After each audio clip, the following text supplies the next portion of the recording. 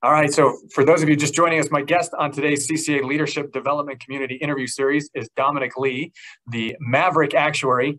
Uh, Dominic, in this next uh, segment, I, I want to talk a little bit more about the uh, Maverick Actuary brand because uh, one aspect of that, as I've gathered from from following you on social media, is around data visualization and storytelling, um, and goes really, I think, hand in hand with those last points that we talked about in the last segment. Um, so for those who aren't familiar or maybe aren't as familiar, what do those terms mean to you, the data visualization and, and storytelling? Another great question. And, and I'm glad that you asked this question because it's important for me to think of as someone who's so invested in this topic. I tried to simplify it as much as possible. So data visualization is very simply turning words into pictures to facilitate smoother storytelling. It's important. First, the first point is that they're both they both are interrelated: the data visualization and the storytelling. So data visualization, turning words into pictures to facilitate smoother storytelling. Because as we know, a picture is worth a thousand words. So it's a very, very clever way of telling a story, starting with a picture. Now, in terms of storytelling, I'll talk about like what I, what, how I envision what a story is. So to me, stories are simply a vehicle to transport us from one state to another. And there are really two parts of storytelling. The first is having a message, and then the second is having a medium. So your message can be anything, anything that any outcome informs the outcome that you want to achieve. And then the medium can take various forms. It could be a commercial, a, television show, a movie, book, song, presentation, a social media post. And there's two quick myths I want to dispel about, um, about storytelling. The first one is that storytelling is only for entertainment purposes. I think a lot of time when I talk about it on LinkedIn, people think I'm kind of going in some fictional direction. You know, people think it's for entertainment. That's the first one. The second one is that it's, it's just all fiction. No, storytelling can be about something that's very real, and you can tie that to a decision you're trying to make. And storytelling is a high impact vehicle. It resonates with a with a large audience. It's really it's really easy to remember. You know, if you think of of um, like I said, I mentioned like the medium songs. People still sing songs, you know, from 20, 30 years ago, right? Because it made them feel something, you know. So that's how I, I think of storytelling and, so, and, data visuals. How, how, do you? Let me just follow on to this. Um, a lot of, I mean, on the actuarial side of things, it's very technical, very numbers heavy, data heavy. Um, what because uh, uh, I've, I've seen people try to kind of take this to the extreme where their presentations to a client or to another stakeholder might be a lot of visuals to try to illustrate their point but then they they almost lose some of the data elements to it. I mean i'd love to get your thoughts on how do you balance that visualization storytelling piece along with the more quantitative nature that that actuarial works tends to lend itself to yeah, so I think what you're getting at is like, how do actuaries more or less improve the storytelling abilities? That's kind of like the direction you're going in. If I'm, mm-hmm. if I'm yeah, I think yeah, that's a that's a great way to to summarize that. Yeah, so like when I think of um, how actuaries can improve their storytelling abilities and, and kind of balance those things, like there's there's three fundamental elements of um, of like a good story. The first one is is it's going to sound strange, right? But it's emotion and that is that is that is uncharted territory for actuaries you know because we're inherently logical. Uh, but incorporating emotion is a really powerful technique uh, to connect with people. And you know i alluded to that a few minutes ago in terms of the songs. So that's the first piece is like having an emotional connection uh, some having an emotion in there so you can connect with people on a level. The second piece and this helps to balance for sure is like the clarity being able to very clearly and succinctly articulate your message. So I'll give you I'll give you an example from Beyond Insurance. So when I when I was doing Beyond Insurance, I worked on for like three months. It took me a very long time to simplify the arc, you know, because I wanted to talk about, you know, how can we add more value outside of the space. But so I had to think of okay, just from a storytelling perspective, what do I want? I want to shift the belief. This is like thinking on a story and, and the, the outcome I want, right? The, I wanted to shift the belief that actuaries can only work in insurance to the belief that we can work beyond insurance, right? That's my goal. And then I use three words to help transition people from that first state to that second state. Reimagine, so it's reimagining what an actuary can be. I talk about that. Embrace, that's a second. So reimagine, then embrace. Embracing growth and transformation, where I talk about uh, the growth, the, sorry, the barriers to growth and transformation, how you can eliminate that. And then once you've eliminated them, explore. That's the third word. Exploring risk-based opportunities beyond insurance and showing where we can add value. So I, I boiled my TED talk, my TED style talk down into three words: reimagine, embrace, and explore. That's how I organized it, and that helps. That helped me hopefully take the audience from one state to another, from thinking that actuaries can only operate in one space, uh, which is insurance, to to another space which is broader than than ensuring. So the, the second piece so we went through emotion, then clarity. And then the third piece is relevance, making sure that you understand, you know your audience and that uh, because your audience need to have some level of investment in your story, whatever the message. So like you talked about using a lot of visuals. You can, you can use a lot of fancy visuals, but it doesn't matter if people don't care about what you're trying to convey. So it has to be relevant. What the message you're trying to convey has to be relevant. And you need to tailor the story to your audience based on what's most important to them. So always think of the audience. So three things there, emotion, clarity, and relevance. That can help you to balance that dynamic. Yeah, you know, I I did a um, just some professional development training that uh, we were doing internally at my company, and it was a, along the lines of delivering effective communication. And um, they gave us a template to work from, and, and part of this has stuck with me.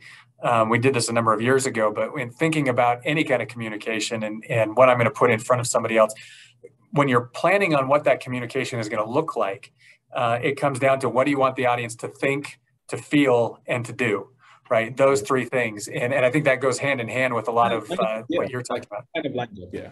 Mm-hmm. Yeah. Um, so so let's talk about how does how does somebody become an effective storyteller? So if, if there's somebody listening to this, uh, whether today or, or the recorded podcast, um, what can they do to improve their storytelling abilities? Yeah, I think I think the key is is um, you know to become an effective storyteller is just ensuring that you have that ability to to achieve your desired outcome through the stories. And so understanding what you want to accomplish, you know, do you want to shift the belief system? Do you want to influence, if you're in a corporate setting, you know, do you want to influence an executive to make a decision? Uh, do you want to, to get people to purchase a product or a service? So thinking, you know, just thinking of those three things I just mentioned, the emotion, the clarity, and the relevance is just kind of going back to those three points I just made, ensuring that you, you know, you're very clear on what you want to accomplish and that you're incorporating those elements into your message or into your story the, the emotion the clarity and the relevance. That's what i would recommend in terms of becoming an effective storyteller. And like i said the gauge of becoming an, an effective storyteller is is you know do you have that ability to achieve the desired outcome? Like you can test that you know like did you get the outcome you wanted? If you're in sales and your goal was to get people to purchase a product or service you monitor that subsequently and you you know that's and, and that's what they do with advertising right? You know that's how i'm sure that they test advertising and different methods of that and see how effective they are. And there's very creative ways of doing that on social now too with with the, with the you know the social media infrastructure and analytics. So. Um, yeah and I'll, I'll put a plug in here because this is a, an area i'm passionate about. I think anybody that wants to improve on their storytelling abilities, part of that is just having the opportunities, right? And that's where I, I think, for me at least, volunteering has been um, a, a, huge benefit in giving me that platform to experiment in a very kind of low stakes environment. Uh, so whether that's raising my hand to speak at a, one of the uh, Actuarial Association meetings, uh, I, know, I know you go to the, the CAS meetings. Uh, you know, I, I tend to go to the CCA meetings, and, and I've had the opportunities to speak at those meetings and on webinars, and and each one of those I feel like has given me the opportunity to you know experiment, test out, and practice a little bit more to try to become uh, a, a, better uh, storyteller. Um, yeah, the um, implementation, um, the practice is very critical. Yeah, because then I mean you, you, get to do that in the low stakes environment, and then you get to take it back to your day job and say, all right, what did I learn from that? How can I implement this, or what would I do differently, and how does that affect you know whether it's a presentation to a client or another internal stakeholder? It, it gives you that uh, that practice that maybe you couldn't get anywhere else, right? So uh, just my plug in there for the, the importance of volunteering. Um, and, and, that's true whether it's within the profession or outside the profession. There's there's lots of opportunities I think for people to participate um, in in those type of activities that can give them that experience. Um, so, so, let's switch gears for a few minutes here. Um, I, I want to get your. This is our uh, leadership development community um, interview series. And so I want to talk about leadership for a little bit. Love to get your thoughts on this. Um, w- when you think about people that you have that you consider to be successful leaders, uh, what what traits do they have? How do they demonstrate their leadership? What does that look like from your perspective? Great question, and it was very a very reflective question for me as well because my answer to this has changed.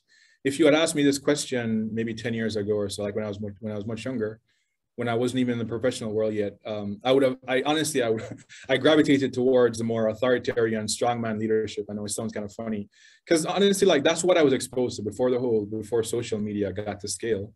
You know, you grow up and you see the leader as being like the boss who you know everyone is afraid of, and they just kind of impose their will. So that's what I thought was effective, and that's what I thought worked. But in today's world, kind of having more exposure now and been in the profession for 10 years and having had, I think I've had like at least six or seven bosses by now. So I've seen many different types of leaders. So the in today's world, the, the type of leadership that I tend to prefer is a more modern style that, that carefully considers three things. One is uh, credibility, of course. This one, this one is not different. This one, credibility, you have to have a demonstrated track record of competence in your industry to be a leader and to get respect.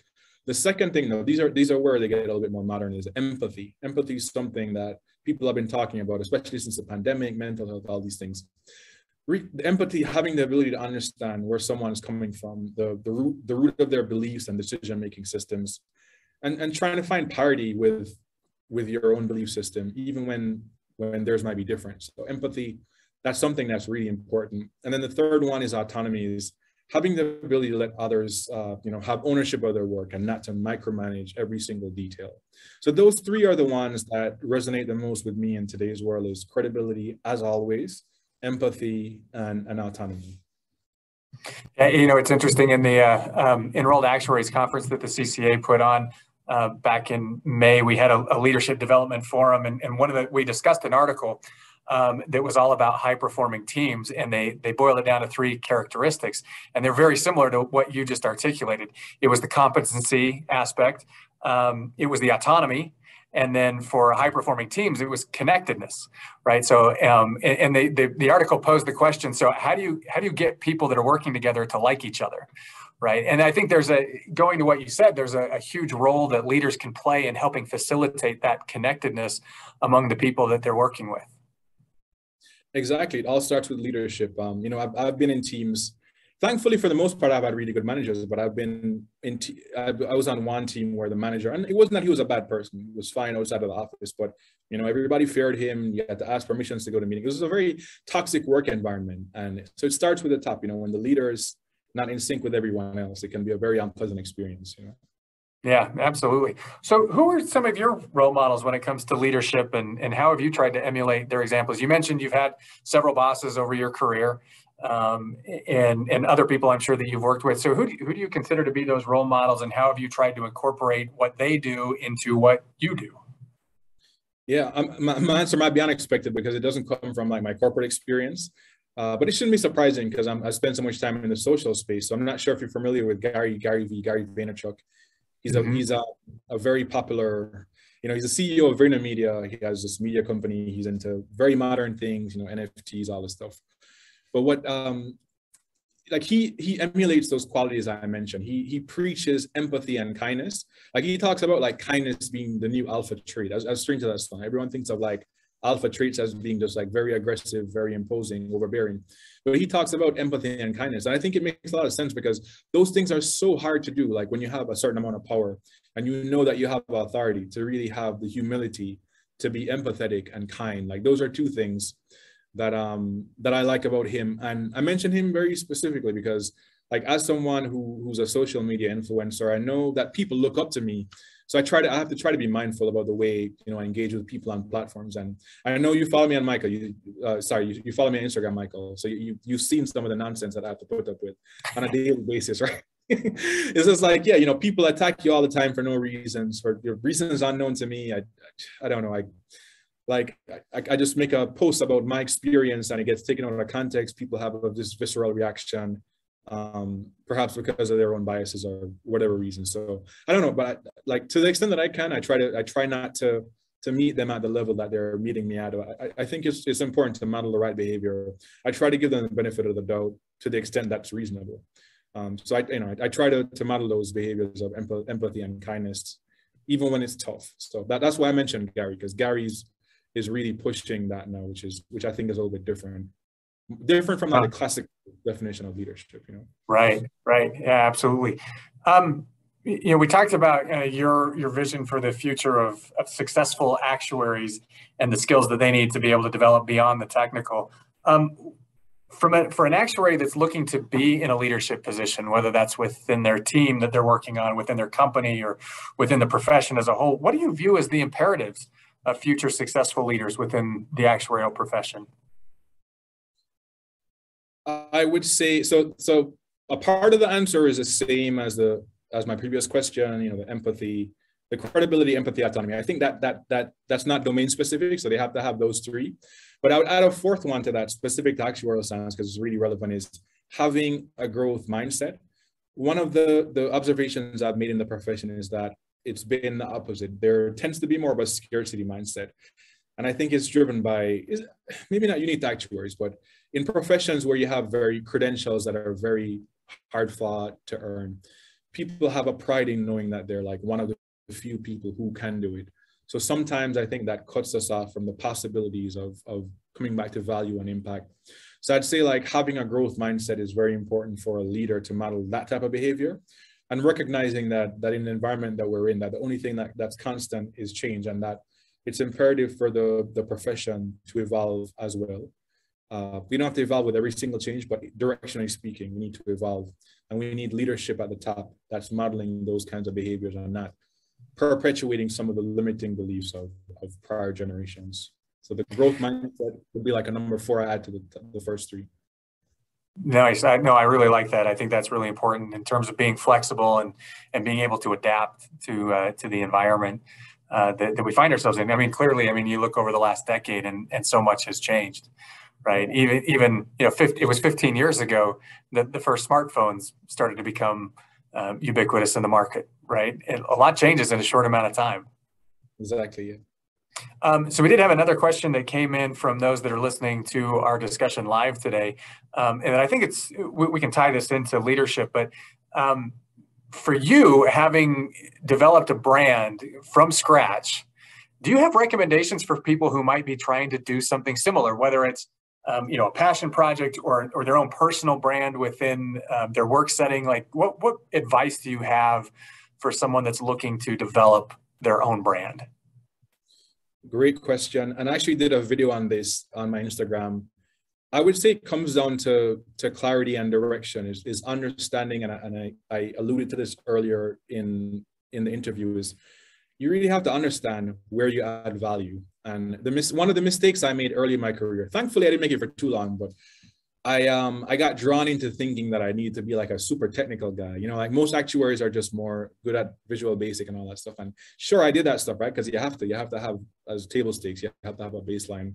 But trying to to to not like follow the crowd and and and try to isolate yourself, your value, understand what you bring to the table and it takes some time. You're going to have to you may have to do a few roles. You may have to work on a few projects have a few bosses but it's understanding where you add value because ultimately you want to identify that and then you want to scale it. So that's kind of the process i did. I i identified it. I talked about a few things earlier. I talked about uh, communication business value.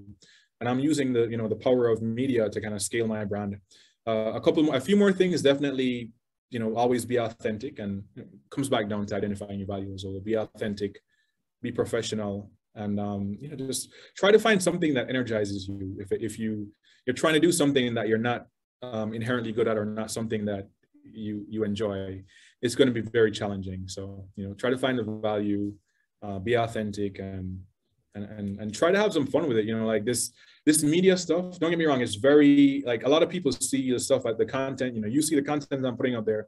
It takes a lot of time and effort you know it's a lot of work. I when i was before i got into this whole content game when i saw a youtube video and it's very well edited you just kind of see it for three four minutes you think that oh they probably took like 10 minutes to do that. Sometimes i'm taking 15 20 hours to edit you know i'm on my weekends doing this doing finding locations you know working on equipment editing so it's a lot of work but it's fulfilling to me because I genuinely, you know, not not to boast or anything, but I really feel like I'm making an impact. And people have told me that, and um, so for me, it's fulfilling, and I enjoy it. It's a lot of hard work, but it's worth the sacrifice for me because I know what I want to accomplish, and it's it's in, it's it's aligned with um with my long term goals. So. Well, and you clearly have fun with it too.